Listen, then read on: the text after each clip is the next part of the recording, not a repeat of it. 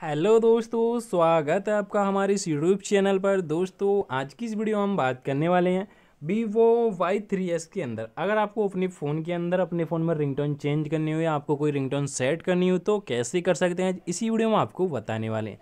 तो वीडियो में बहुत सिंपल सिंपल स्टेप रहने वाले हैं, जिन्हें फॉलो करके आप अपने फ़ोन के अंदर अपनी रिंगटोन सेट करा सकते हैं। तो चलिए गाइज़ वीडियो स्टार्ट कर लेते हैं गाइज़ वीडियो अंत तक ज़रूर देखना ताकि आपको समझ में आ सके।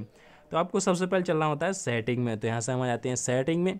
सेटिंग में आने के बाद आपको सामने इस प्रकार का इंटरफेस देखने को मिल जाता है तो यहाँ से आपको नीचे आ जाना है और यहाँ से आपको एक ऑप्शन मिल जाता है साउंड तो सिंपली हम इस पर क्लिक करेंगे।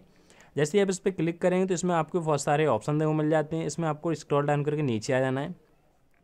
सबसे पहले आपको यहाँ ऑप्शन देखने को मिल जाती है मैसेज की रिंगटोन मिल जाती है फ़ोन यहाँ आपको ऑप्शन मिल जाता है फ़ोन तो सिंपली हम फ़ोन पे क्लिक कर लेते हैं। फ़ोन रिंगटोन पे क्लिक करेंगे। जैसे आप फ़ोन रिंगटोन पे क्लिक करें तो आपकी सारी रिंगटोन यहाँ देखने के लिए मिल जाती हैं, जैसे कि आप देख सकते हैं, सारी रिंगटोन आपको यहाँ मिल जाती हैं। अगर आपको अपनी फ़ोन में से कस्टम रिंगटोन सेलेक्ट करनी है तो सिंपली आप इस पर चले जाएँगे फ़ोन पर रिंगटोन पर यहाँ से आपको टॉर्च ट्राइब मिल जाती है, जो भी आपको चाहिए। इस प्रकार से ये कस्टम रिंगटोन सेट हो जाती है आपको। अगर आपको अपने फ़ोन में जो भी रिंगटोन हो, उसमें से कोई भी सेट करानी है, जैसे यहाँ से आप सेट करानी है तो कोई भी रिंगटोन आप यहाँ से सेट करा सकते हैं। इस प्रकार से आप अपने फ़ोन के अंदर अपने रिंगटोन को चेंज करा सकते हैं और उन्हें सेट करा सकते हैं। इस प्रकार से आपकी रिंगटोन सेट हो जाती है। आई होप आपको ये वीडियो पसंद आई।